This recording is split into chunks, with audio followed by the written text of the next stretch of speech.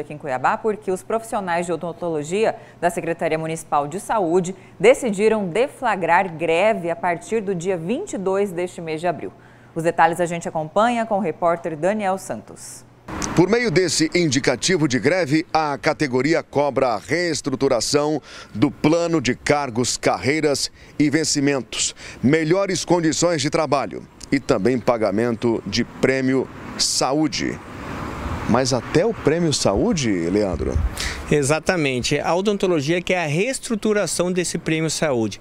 Prêmio Saúde que também está no TAC, junto ao Tribunal de Contas, para a reestruturação, para a reformulação, que até hoje não houve o estudo, o início do estudo desse Prêmio Saúde. Certo. Agora, em relação à insalubridade, vocês também estão nessa mesma bronca que outras categorias. Exatamente. A categoria está extremamente preocupado com essa situação, porque a prefeitura tinha 90 dias para fazer os estudos necessários e a setorização para a aplicação da insalubridade para cada servidor de acordo com o nível de exposição.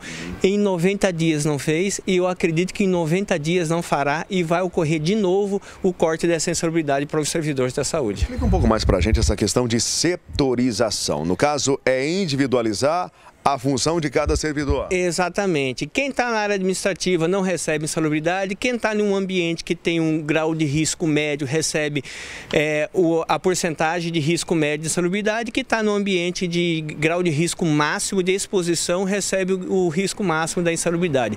Essa seria a setorização solicitada no TAC. Tá certo. A prefeitura disse que não poderia pagar o benefício porque o TAC, que colocou fim à intervenção, né, obrigava o município a regularizar esse pagamento é, a quem teria direito até 31 de março, mas não houve regularização.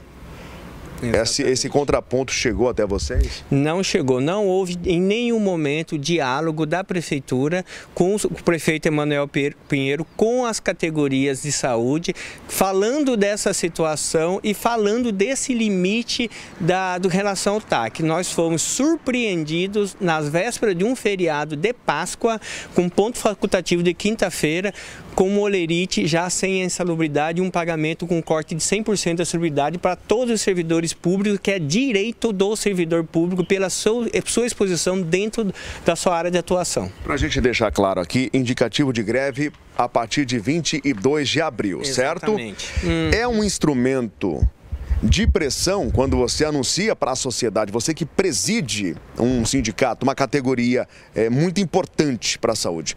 É um instrumento que vocês usam para pressionar, quer dizer, olha, se não vier nenhuma resposta do executivo, a gente vai parar a partir do dia 22. É esse o objetivo? É. A greve não é bom para ninguém. A categoria não quer entrar em greve. A greve não é boa, principalmente para a população que mais precisa do atendimento odontológico. Mas, infelizmente, nós temos dois anos tentando um diálogo com o prefeito Emanuel Pinheiro e dois anos nós estamos com a porta fechada. Justamente esse período indicativo de greve é um diálogo, um diálogo com a gestão para que a gente possa sentar e resolver as nossas pautas. Preciso perguntar ano de eleições, esse movimento, ele é político? Nunca. Esse movimento é servidor público da odontologia de Cuiabá que sofre por um salário digno, por condições de trabalho digno, para que a população seja atendida de uma forma. A notícia agora é boa, Camila, para Cuiabá, só que não é da saúde, tá bom?